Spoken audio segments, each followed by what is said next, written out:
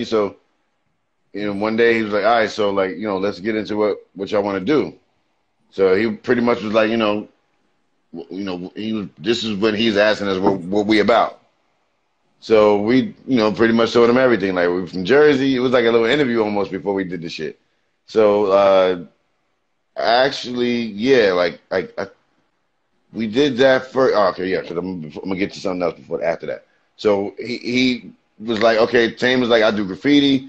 So after everything we told him, he was just gathered up like, all right, so y'all niggas is from Jersey, y'all into hip hop, y'all into the fucking the whole everything about it, spray painting, b boy shit, everything. We like, yeah. So um, he said, why don't y'all make a song about that? Like, really? Simple as that. Like, make a song about what the fuck y'all do. Like, if that's what y'all do and y'all feel like that's, and we wasn't called artifacts at the time. We were just called that's them. So we had no, it wasn't no, it was just, you know, uh, I, I actually, we was just like switching over to that.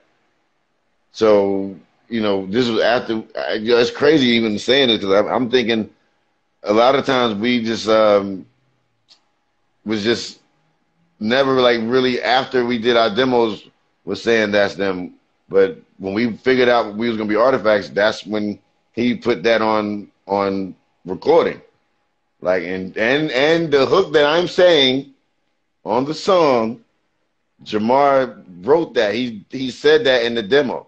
So that's like he, but with with the industry, you know, we couldn't we couldn't clear the sample because it was a James Brown sample, so we couldn't clear that. And we told Jamar, and because that track, you know, I, I told him, like, if you want to do another one, and we all at the time fell in love with the track with the track the way it was, but because they didn't want to clear the sample, we had to change it. So yeah. that's when and, and and but but the way you hear it today is the classic that y'all know. So we was like, we was like, where Puba at? Like that's the first thing we said. Where's Puba? So like, you know, so I'm sure for them that question was crazy even that early. So we was like, you know, so we could we was that excited. So I I was just like, you know, just telling him who we was. I had my Walkman and shit, so I put the head. I just was like, yo, I took the headphones off. I was like, yo, we got a demo. This shit was like I didn't care who was around. It was like a sea of people around us, and this is all happening. Like I didn't care. I was just like, we we going back to Jersey. This is the only chance we gonna get talk to these dudes or whatever. So I, he put the headphones on. Fortunately, he liked what he heard.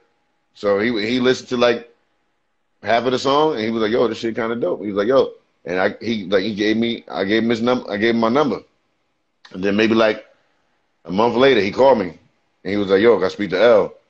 I'm like, yo, I'm like, who this? He's like, Lord Jamar, Brand Nubian. I was like, click. I Hung up. You you banged on him. I hung up on him. Then he called. He called me back.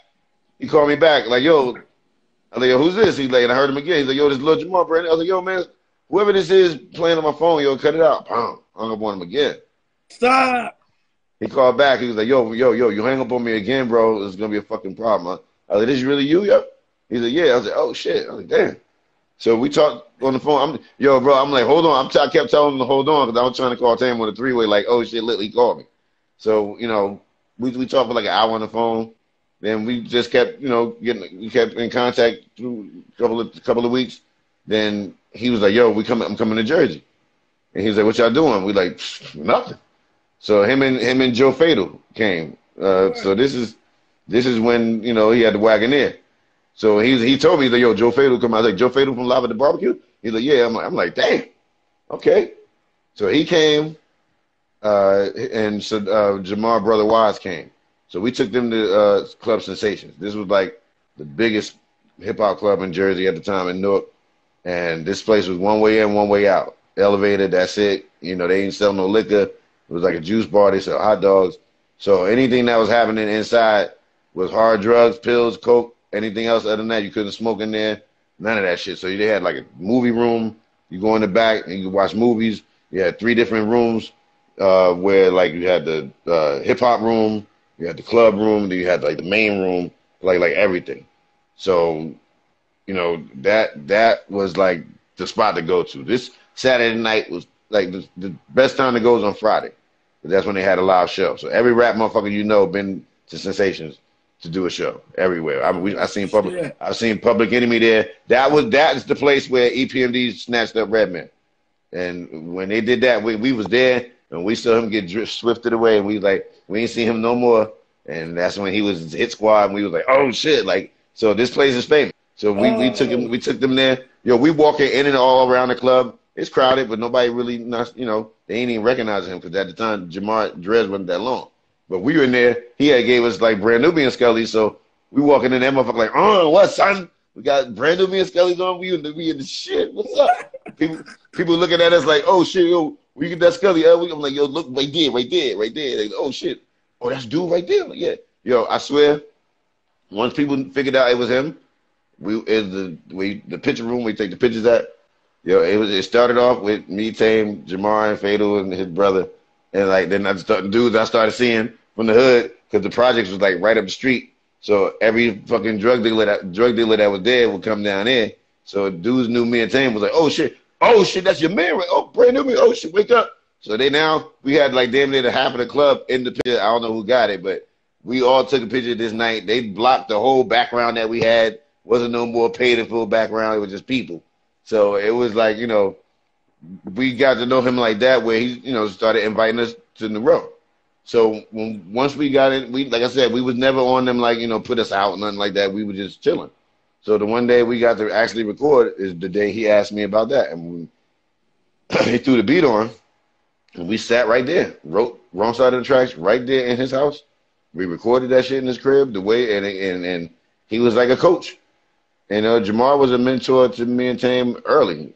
I mean, that was like, you know, the first besides like home niggas like Apache and Naughty and them like that. But these dudes was like outside of Jersey. You know what I'm saying? And we looked up to them not just on some rhyme shit, but just like we we felt like we was like them. Like they dressed like us. Everything Jabos, Polo, Hillpick, whatever. The Banana Republic, all that shit was that's what we was doing.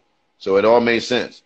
So you know, Jamar taught me in the inside game to be like, you know, on the label shit, like, you know, I went to Mercury Records and had a, a meeting with Sincere only because I saw the Jiggy video. I saw the Ziggy video, and I said, okay, they're on Mercury Records. That's him, Sincere. That guy's the A&R.